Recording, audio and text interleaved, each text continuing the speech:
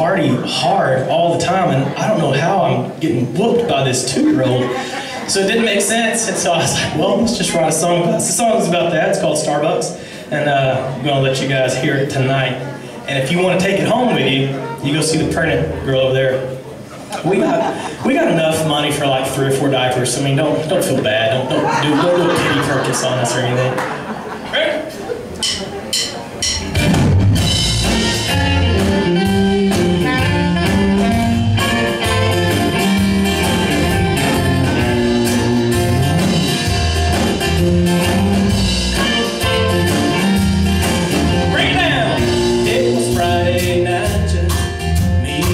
you.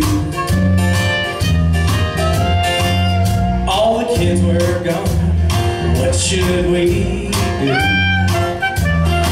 She said, why don't we get crazy? Go out and paint the town. I said, I like your thinking. So we started drinking.